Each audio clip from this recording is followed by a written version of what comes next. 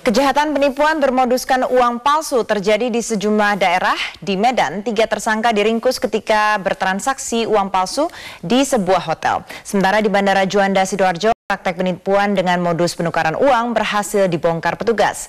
Enam pelaku telah ditangkap. Modus penipuan uang dengan menggunakan uang palsu semakin marak terjadi.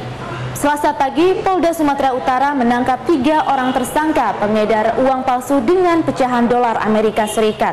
Tidak tanggung-tanggung jika dirupiahkan dolar ini mencapai 3,5 miliar rupiah yang siap diedarkan baik dalam bentuk dolar maupun ditukarkan terlebih dahulu ke mata uang rupiah.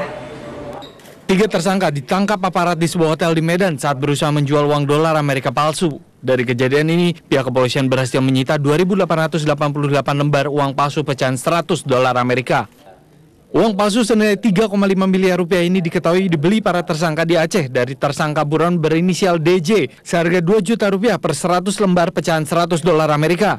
Yang bersangkutan dia hanya mendapatkan barang ini dari Aceh. Kami masih melakukan peng, peng, pengejaran di wilayah Aceh juga. Mereka membeli putus atau gimana nih Pak? Ini beli putus. Berapa mereka beli? per blok ini dia jual antara 3 sampai 8 juta. Mereka edarkan berapa? Yang diedarkan ya keseluruhan, tapi belum sempat diedarkan. Ini sudah kita tangkap. Tapi sudah ada tiga yang dia jual itu ke wilayah Malaysia. Para tersangka terancam penjara 15 tahun. Sementara itu, tindakan penipuan dengan menggunakan uang palsu juga terjadi di Bandara Juanda Sidoarjo, Jawa Timur. Modus para pelaku dengan mencari masyarakat yang ingin menukarkan uang pecahan 100 ribu rupiah.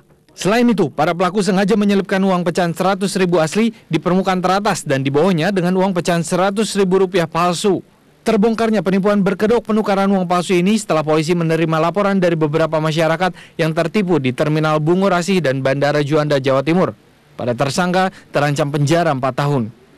Dari Medan, Sumatera Utara dan Surabaya, Jawa Timur, Marini Sayuti, Harizal, Rudi Pardosi, Metro TV.